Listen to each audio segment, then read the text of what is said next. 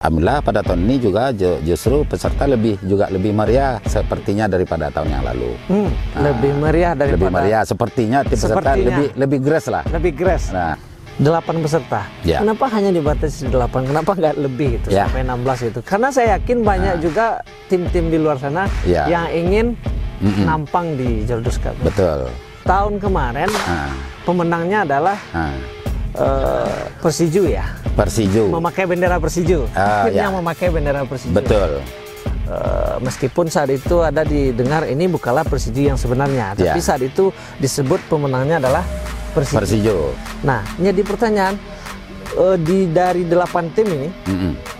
list delapan tim tidak ada Persiju. Ya, saya sendiri uh, komunikasi dengan bosnya Gerar. Mm -hmm dia bilang tidak sabar menunggu waktu kami datang ke Sengayang ikut iya, iya. Cup.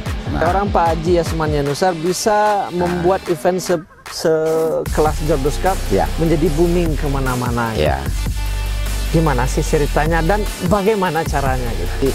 Apa pun klub yang diundang ke sini tidak ada yang Mengeluh. kecewa, tidak, tidak ada yang kecewa dalam hal masalah uh, fisik lapangan. Nah, viral-viral nih. Betul uh, kalau nggak salah itu waktu kemarin itu sempat mendatangkan uh, mantan pemain timnas juga Egi iya. Giansa. Oh Egi ya dari Tangerang ya. Iya. Kabarnya ada nama Marco Simic itu. Nah itu dia iya. Marco Simic. Mantan top skor ya di nah, Indonesia. Itu. Gitu. Marco Simic yang pernah nah. berjaya bersama Persija gitu. Iya.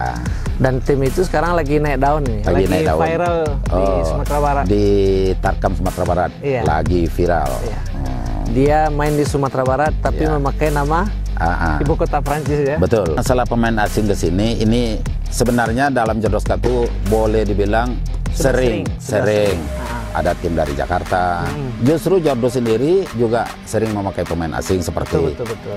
Uh, Toyo, Antonio oh, Claudio.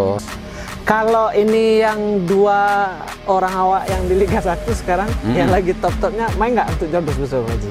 Uh, Irsad Maulana sama Teja gimana kabarnya?